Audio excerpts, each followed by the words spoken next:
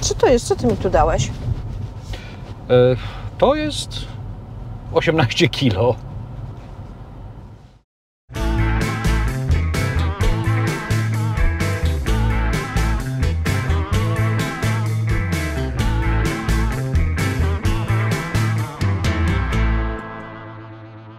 Widzę, co tu zrobiłeś.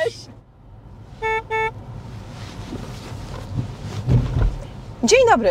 Albo dobry wieczór. E, To, co przed chwilą pokazywaliśmy, to jest e, końcówka paska mojego, który ma 30 lat mniej więcej. To jest tak zwana skóra odpowiedzialna, czyli e, nie to, co montuję obecnie w swoich samochodach, na przykład BMW, czy Mercedes, czy inne Audi, jakieś kurcze przetworzone plastiki, z sieci zwane rybackich. pe- Tak zwane pety. Tak, to nie są pety, tylko to jest prawdziwa skóra i prawdziwa skóra, która ze mną jest od 30 lat i nie chciałem wyrzucać paska tylko dlatego, że schudłem parę kilo, y, tylko poszedłem do kaletnika, żeby właśnie skrócił mi pasek.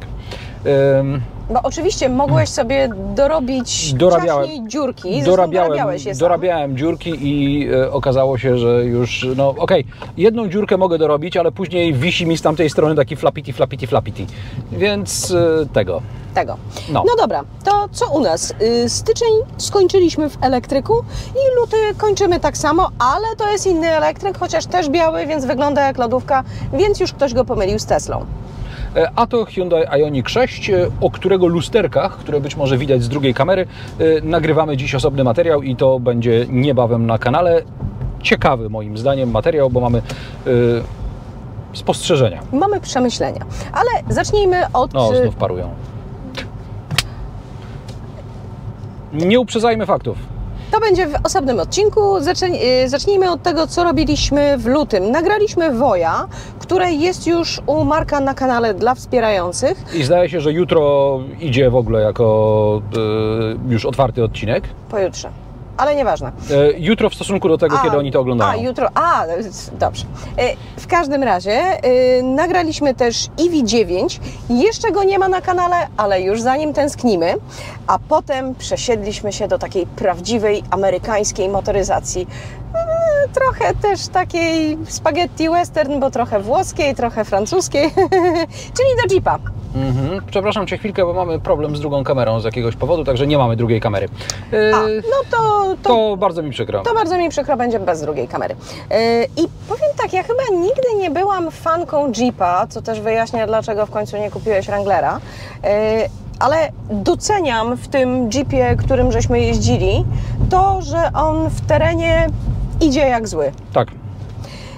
Tyle- On po prostu jedzie. Tak, tyle tylko, że stosunkowo rzadko bywamy w terenie. Ja na przykład w terenie jestem tylko wtedy, jak życzysz sobie, żebym jeździła pod y, drona, bo z dwojga złego lepiej jeżdżę y, niż mm, latam niż latasz. dronem. To znaczy po prostu nie chciałaś próbować nigdy latać, ale to... Natomiast rzeczywiście podobnie było z Jeepem Renegade'em dawno temu. Mieliśmy Renegade'a Trailhawka nawet ze dwa lata temu. Tego I- małego, co pojechaliśmy do cioci? Tak, i pamiętam, że póki on je, jechał po takim w miarę równym asfalcie, to to było najgorsze pudło, jakie można sobie wyobrazić. Natomiast jak się zjechało na takie drogi gdzieś bardziej wiejskie, nie mówię nawet o nieutwardzonych, ale o wiejskich, gdzie rzadziej zagląda e, walec i te wszystkie takie, że tam zalewają dziury w asfalcie i tak dalej. Więc jak jechał po takiej dziurawej drodze, no to po prostu idealny samochód nagle budził się do życia i to było to, czego e, od tego życia ten samochód potrzebował. Natomiast na asfalcie takim równym to jest absolutnie najgorsze pudło, jakie można sobie wyobrazić i Jeep Grand Cherokee niestety też nie jest na najlepsze drogi. No niestety, na mniejszą skalę trochę tak było z Pandą 4x4. Panda 4x4 I to, była... te, to na- teraz ten sam koncern. Wiesz co, znaczy Panda 4x4 była dobra niezależnie. To był po prostu genialny samochód. I żałuję, znaczy żałuję, ten samochód nam się nam nie pasował do niczego, bo on miał bagażnik wielkości twojej torebki, e, ale Tej większej, to jest ta mniejsza. to jest ta mniejsza, więc wielkości twojej większej torebki, więc on nie był idealny do niczego. Poza tym, że chyba, że mieszkasz gdzieś właśnie w Alpach i b- jeździsz tymi wąskimi dróżkami zaśnieżonymi góra-dół, góra-dół, no ale my potrzebujemy czasem emerytów wozić, dlatego Countryman, a nie Panda na przykład 4x4. A poza tym nie mieszkamy w Alpach. E, A pamiętasz, co odebraliśmy w połowie miesiąca, tak akurat na walentynki? Samochód idealny. Szczerze mówiąc nie pamiętam. Nie, możesz mi powiedzieć, ja nie wiem czym jeździłem. On tego naprawdę nie pamięta, to nie jest zagrane. Odebraliśmy E-klasę i Och, no właśnie. tak. To znaczy, mieliśmy Jeszcze ją jakby była w kombi. zeszłym roku, ale coś nie wyszło, ale pieprzyć. I powiem tak, była doskonałą zmianą po Jeepie. E, I w ogóle po wszystkich elektrykach. Przesiąść się do diesla, który na przestrzeni, e, na trasie, ile to tam było? 90 km. E, Nie, poczekaj, może, może tak, podam, jak ktoś z Warszawy to będzie wiedział, a jak nie z Warszawy to sobie złapie na mapie. Mniej więcej od Żerania do... e, Konotopy? No, do Konotopy to on odzyskał raptem 60 albo 70 km zasięgu. E, Później jeszcze jak się za lotniskiem skręca na Radom, to jest powiedzmy jakieś e, 30-40 km. On tam odzyskał chyba 90 km zasięgu na tym. e, Generalnie e, trasa, prawda- trasa 240 km. Wróciliśmy z zasięgiem 40 km niższym niż wyjechaliśmy z domu. E, Tę samą trasę zrobiliśmy rok wcześniej, czy dwa lata wcześniej Skodą Enyaq iV, e, która na tej samej trasie, no ledwo żeśmy dojechali z pełną baterią z powrotem To znaczy nie z pełną baterią. Wyjechaliśmy, wyjechaliśmy z pełną baterią z domu, domu i- i... ledwo żeśmy wrócili do domu bez, bez, ładowania. Tak. No. Fakt, wtedy był siarczysty mróz, myślę, że było minus 5, a teraz było tak plus 2.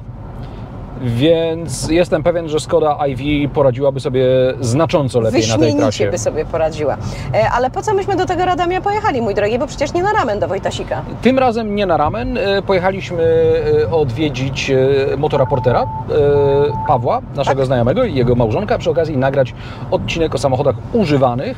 I to nie jest pierwsze, ani tym bardziej ostatnie nasze słowo w tej, e, w tej materii. Odcinek jest już oczywiście u Marka na kanale. Jeżeli nie widzieliście, to linkuję do niego w opisie.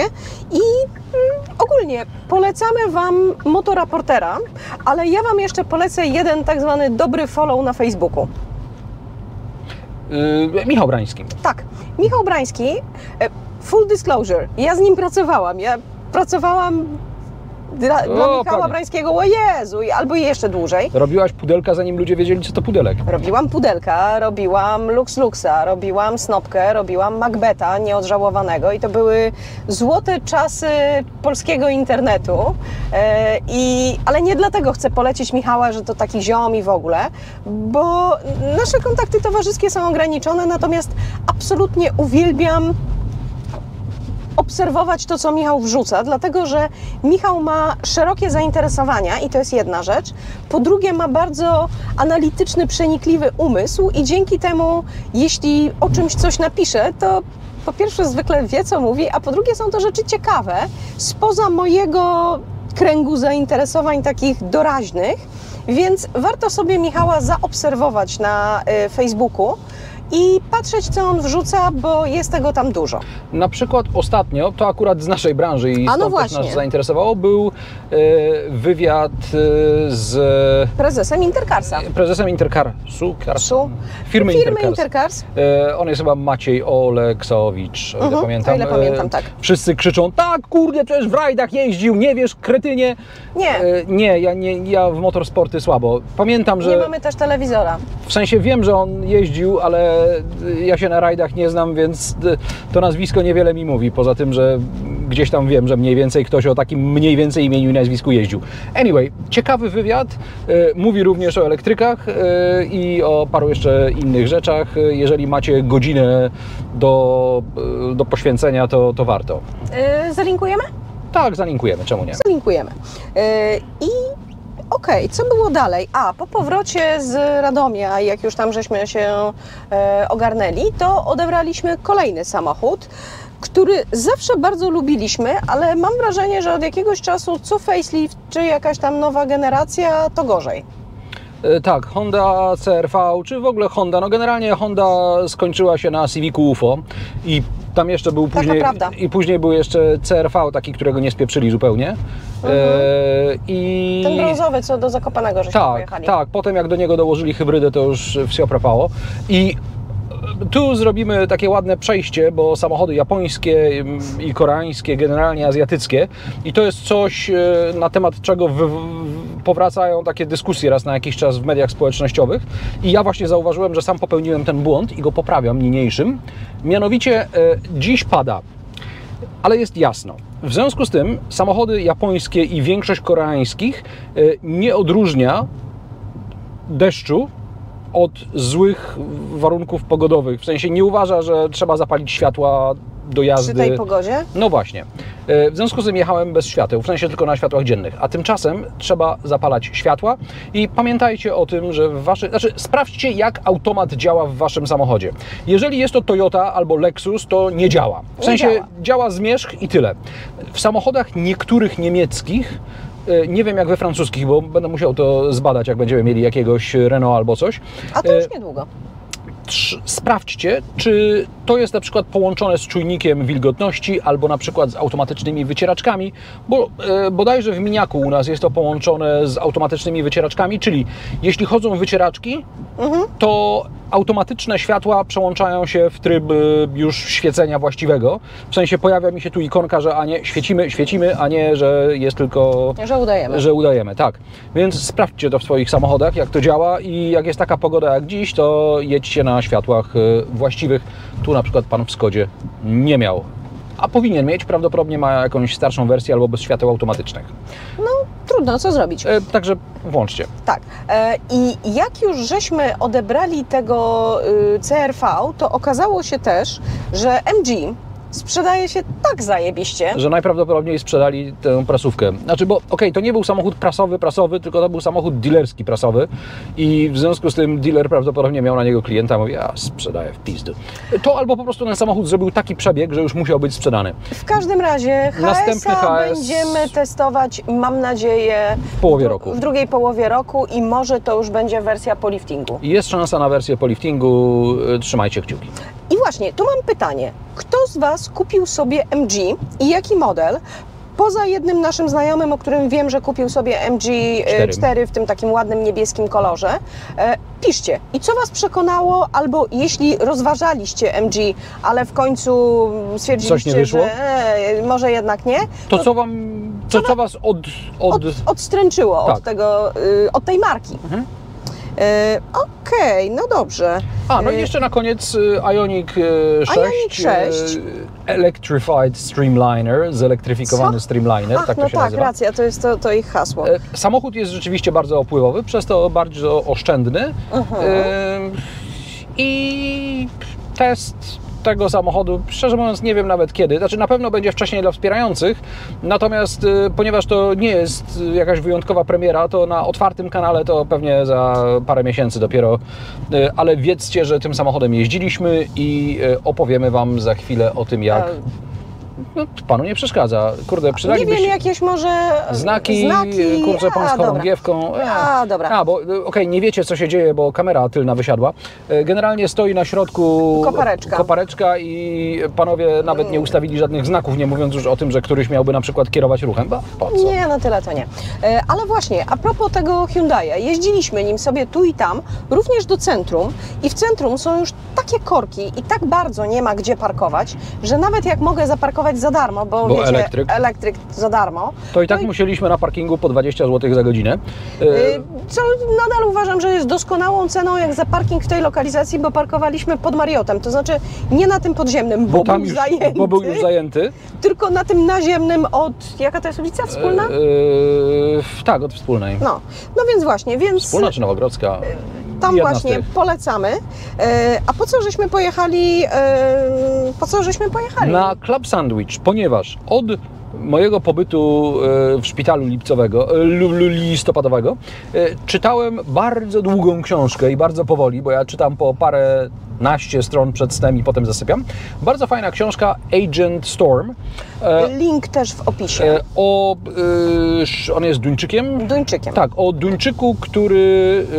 Najpierw został islamistą, a później podwójnym agentem. tak, w dużym skrócie. E, Nie spoilujemy więcej, natomiast bardzo dobra książka i w którymś momencie e, ów, e, ów islamista wybrał się na piwerko i club sandwicha i dawno nie jedliśmy club sandwich. Jak Ania doszła już do tej sceny z club sandwichem, to mówi, nie no kurde, musimy zjeść. Ale to było o tyle zabawne, że Ja czytałam tę książkę no, dłuższą, dłuższą chwilę później niż Marek, e, bo dopiero wtedy ją sobie jakoś tam skolejkowałam i tak, i tak czytałam i tak mówię, och Boże, takiego club sandwicha, club sandwicha, bym, bym, bym. No i Marek mówi, "Co- jaki to problem? No i kurczę, jest, Okazuje się, że w jest Warszawie- to straszny problem. W Warszawie nie jest łatwo o klap sandwicha, bo zwykle jak jeździmy gdzieś na jakiś taki, wie, taki Wiecie, weekendowy... hashtag za, za granicą. E, Hashtag za granicą, albo po prostu jak jedziemy gdzieś na taki wypad jedno-dwudniowy i nocujemy w jakimś hotelu. W sumie to, tak, to, w Polsce też. To często w hotelu, w takim hotelowej restauracji, barze jest zwykle club sandwich, jest e, sałatka Cezar, która tym razem zwykle jest Cezarem, a nie czymś, co restauratorom na mieście wydaje się, nie że jest Cezarem. zawiera pomidorów, nie zawiera czerwonej cebuli, nie I tak zawiera dalej. ogórka i nie zawiera sosu czosnkowego. Tak, na przykład. E, możecie napisać, z czym jedliście na najdziwniejszego Cezara, e, albo z czym Wam się wydaje, że jedliście Cezara. E, a, okej, ja nie mówię, że to jest niejadalne, tylko, Tylko to nie jest Cezar. Cezar. Ale z club sandwichem w Warszawie, który kiedyś był w paru hotelach oferowany, e, Tak po prostu w zrobił się, zrobił się problem.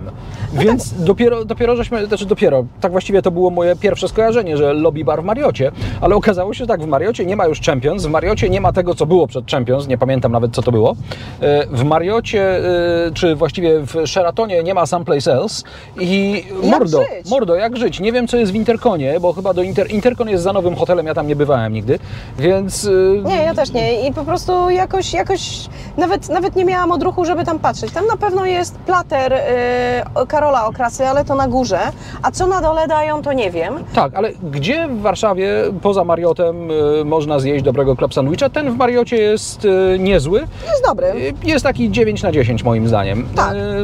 Piszcie, a my tymczasem jedziemy dalej, czy mamy coś jeszcze do powiedzenia? E, jeszcze coś mogę powiedzieć. No to powiedz coś A, jeszcze. Okej, no więc ja tylko chciałam powiedzieć, że zanim zaczniecie mi opowiadać, że co to za filozofia zrobić kanapkę, no trochę filozofia, poza tym club sandwich jest jakby z zamkniętą całością, nie potrzebuje wersji z awokado, z serem, z jajkiem, z krewetkami, bo takie Ej, też ja widziałam. robiłem z serem i z jajkiem. Nie, ale ty robiłeś deluxe i ty robiłeś w domu. A, to ja przepraszam. Natomiast, przepraszam cię bardzo, nie potrzebuję się upierdolić, jak będę jadła go w restauranie. No fakt. Więc sam rozumiesz. W każdym razie e, e, strasznie bym chciała, żeby to danie, które jest tak naprawdę pożywnym, prostym, sycącym daniem, było bardziej popularne. Nawiasem mówiąc, kiedyś, o, facet w Audi e, E, nie, nie ma ma automatycznych świateł, e, ale to Audi, to nie dziwię się. E, Może mu się zepsuło. Nie dość, że Q4 to jeszcze. E, dobra. E, w każdym razie, w każdym razie kiedyś nasza osiedlowa restauracja oferowała między innymi club sandwicha i okazało się, że prawdopodobnie nikt poza właścicielem tej restauracji tego club sandwicha nie widział. E, Chcieliśmy go kiedyś zamówić do domu. E, To było dawno temu, to było z 10 albo i więcej no, lat temu. 15. Chcieliśmy go zamówić do domu, ale powiedzieli, no nie, tegoś to się nie da do domu, bo coś tam. No, Bo się nie zmieści w opakowaniu. tak, myśleliśmy, kurczę, co, co, co, jaki jest problem? No ale okej, dobra, stwierdziliśmy, Dobra, no może okej. rzeczywiście boją się, nie mają wykałaczek, boją się, że im się przewróci, nieważne. Spoko. No więc przyszliśmy kiedyś do nich i zamówiliśmy i facet nam przynosi coś Takie takiego coś. z literalnie całą piersią kurczaka w środku. Ja mówię, mordo, co to jest? On mówi, no mam tak zapisane, że tam jest Pierś pierś z kurczaka. Nie widziałeś tego nigdy na żywo, prawda? Nie. Kucharz mówi, nie, nie, nie, nie widziałem nigdy. Ja mówię, dobra, to ci pokażę. No, to były jeszcze czasy przed internetem, więc takim w komórce popular, powszechnym, więc on, nie wiem, na, na swojej Nokii pewnie na wapie nie, mógł nie zobaczyć, jak to no wygląda. nie, myślę, że mógł nie zobaczyć. Ale właśnie, a propos takich czasów, to dzisiaj, kiedy to nagrywamy, jest 28 lutego, jest premiera nowego, ostatniego, jak rozumiem, sezonu Roysta na Netflixie i obawiam się, że jak zwykle warstwa fabularna nie będzie tam, gdzie warstwa wizualna, ale to stała przypadłość tego serialu i ja go oglądam nie- Dla scenografii. tak. I zastanawiam się, czy nie powinnam dzisiaj jakiejś takiej tematycznej kolacji, ale co się podawało na przełomie wieków? Eee, pof, kurczę, nie wiem, pizzę Super Supreme, ale jest paskudna. Ehm, No, to znaczy tak, no jakiegoś pizza hut by można było. Pamiętam, że moja matka na takie eleganckie proszone obiadki robiła ziemniaki, filet z kurczaka w panierce i pół brzoskwini z puszki. Uuu, fancy. Tak, bo klasycznie jest z ananaskiem, ale moja matka nie wiem, czy nie lubiła ananasa, czy coś jej się popieprzyło na zakupach, no i była brzoskwinia z puszki, nikt nie narzekał. Nie wiem, co, co podać e, w takiej sytuacji, ale Wiesz co, myślę, że dzisiaj to po prostu zrobię nam kanapki, bo ostatnio oglądaliśmy na Netflixie e, Salt, Fat, Acid, Heat e, z Samin Nosrat i uff, no tego się nie dało bez dobrej kolacji. Trzeba było mieć e, e, focaccie, serki, dobre wino i dopiero wtedy można było jeden odcinek obejrzeć, bo Boże, inaczej, tak. inaczej się nie dało. Jeżeli nie, nie mieliście czegoś okej, cokolwiek lubicie, ale takiego wyjątkowo dobrego, to, to, to, to inaczej nie Mhm. lzia. No więc to są, to, to są nasze spostrzeżenia i wrażenia z e, lutego. E, Jedziemy tymczasem dalej, dojechaliśmy do tak zwanego ronda Stanik i mówimy Znanego również jako Cycylina i mówimy pa! pa! Dziękujemy, że oglądasz kanał Ania i Marek Jadą. Nie zapomnij dać nam suba i włączyć powiadomień o nowych odcinkach. Publikujemy kilka razy w tygodniu. Testy, pierwsze wrażenia i inne materiały około motoryzacyjne. Można nam też zadawać pytania tutaj i na Instagramie. Ania i Marek jadą. Do zobaczenia w następnym odcinku.